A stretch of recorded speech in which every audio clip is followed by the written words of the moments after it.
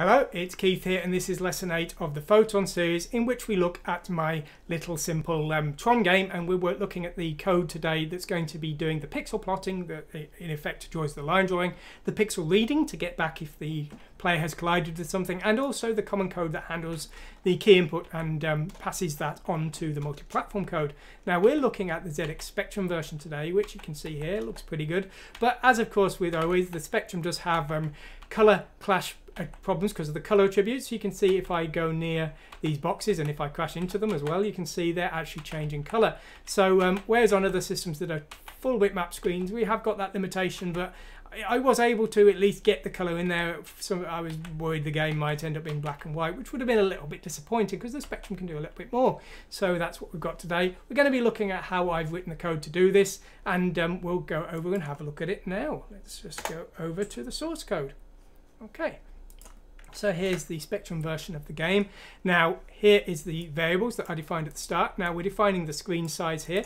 Screen width 32 defines what sort of scale the screen is. There's different versions of some of the code scaling the objects if the screen's really small, uh, making them wider if the screen is wider, but the screen 32 is the default size, 256 by 192, very nice common screen size. We're defining a few bytes of memory for um, user RAM. There's a 256 byte allocation, but I think it actually only uses 64, but that's far more. yeah, there's plenty available on all the systems I'm working on, so it's not really a problem. And then we're defining the four colors. Now the game uses up to four colors, and on the Spectrum version, we're defining the color attributes we're going to use. Now color zero, black, is, use, is the background color, and then any other color is using color one within the bitmap area, and then we're defining the matching color attribute to one of these so that's what we're doing there.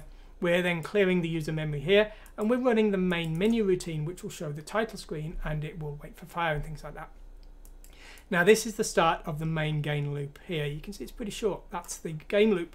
And um, what we're doing first is we're incrementing the tick. Now the tick is used basically the player and the CPU move every other tick but when the boost is enabled when you hit enter that will make the player move super fast and that will update every tick. So that's what that does.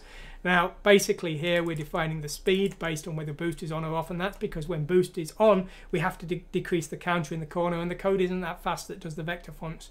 Know, bitmap font would have been faster but I wanted to use vectors for everything so um, yeah the, the, vector font isn't the fastest thing in the world unfortunately. So um, that's what we're using anyway um, and then here is the delay loop, and this is also handling the key presses. Now, if I just run the game again, you'll see how the um, controls work in this game. If I just press um, enter here. Now, if I press the right key here, you'll see I moved right, but I only moved right once, even though I'm still holding it down. I have to release and press again, and that's so uh, we've got precise controls, because if we just keep moving right, of course, we'll quickly crash into ourselves. So um, we've got the debouncing here, and that's um, what this key timeout does. Basically, it's checking here. If there's no key presses occurring, then we clear the key timeout. Otherwise, we don't. Um, and what we're doing here is we're reading in a keys that are pressed into D. So D is going to be processed later on. Now, once this delay loop has occurred, we're then going to check the key timeout. And if the key timeout hasn't been cleared, we're going to skip all the way down to here and we're going to ignore those key presses. But if key presses are going to be processed, then we're clearing the boost here, and then we're going to process the directions. So what we're doing here is we're setting HL to the direction variable and IX to the accelerations. And if left is pressed, we're decreasing the player direction, and if right is pressed, we're increasing it. And this is so we can have a 360 degree rotation. And we'll just keep going round and round in circles. But basically, of course, this would go below 255 and uh, it will go round and round in circles, but we need it to be 0 to 3. The rest of the work is being done by set player direction and it's also copying the accelerations as required. So most of the code work is being done by set player direction here. But you'll see if left and right are pressed, we're setting that key timeout.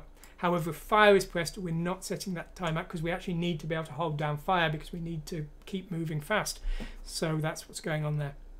Now, if fire is pressed, we check if there's any boost power, and if there is, we're setting boost to zero, which turns it on. The rest of the work of boost is being handled by the player routine here, so there's no de decrementing of the boost power, and there's no updating of the screen in this. That's all in these routines here.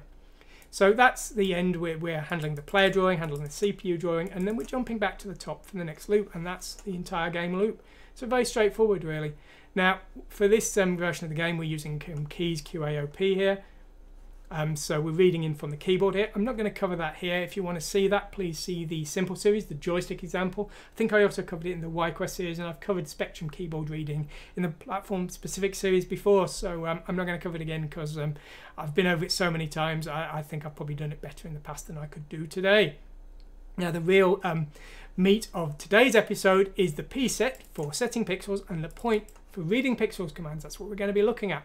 Now, there's an alternate version here which uses DE and HL for the X and Y position and A for the color, but the main one uses B and C for X and Y and D for the color. Now, the first thing we're going to do is we're going to set the color attribute. So if this is um, zero, if the color we're setting is zero, we don't want to set the color attribute. We don't want to black out things that are already there. So we're skipping over in that case. But otherwise, we're going to be using the get mempos, which calculates the memory address of a position within the color attributes. We had that from the um, bitmap, the simple bitmap series. This works in bytes, not pixels, and B is currently in pixels. So we're shifting B to the right a few times here to convert it to a byte X position. And then we're getting the memory address of the color attribute with that function there. And then we're setting it to D here. So D needs to be a color attribute, which is why we set them all the way up here to color attributes. So that's what's being used here. So that's now set the color attribute for the block that contains the pixel we're changing. Next what we're going to do is we're going to set the pixel itself. So we're going to need to calculate the bitmap address of, in screen RAM of the byte that contains the pixel and we're also going to need to work out how to change the pixel itself. So if we just skip down here for a moment to get pixel mask and we'll have a look at it. So this is doing the work. Now once again we're converting B so that it's a byte position for get screen pos and get screen pos will calculate the HL memory address of the byte that contains the pixel we want to change. Now the, the screen coordinates of the spectrum are a bit tricky, but this will calculate it, and that's what we use here, and that will return HL of the which is the screen memory address of the pixel. What we want to do next is we want to look at the pixel within that byte, and we need to work out how we're going to change that one pixel. So what we're doing here is we've pushed B here and we're popping it back into A. So now we've got the bottom three bits of the x coordinate, which is the pixel within the byte.